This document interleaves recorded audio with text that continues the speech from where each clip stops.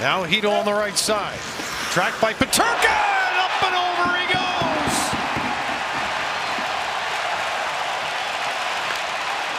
Rasmus Dahlin, who's got the puck now.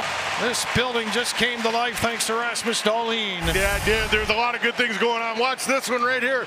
Dahlin coming in, submarining him right there, right up and over. And Filip Chytil, he goes down. What a hit right there. You see everybody getting involved, and then Levi right here at the end. Lafreniere with a redirection. Levi calmly makes the glove save here.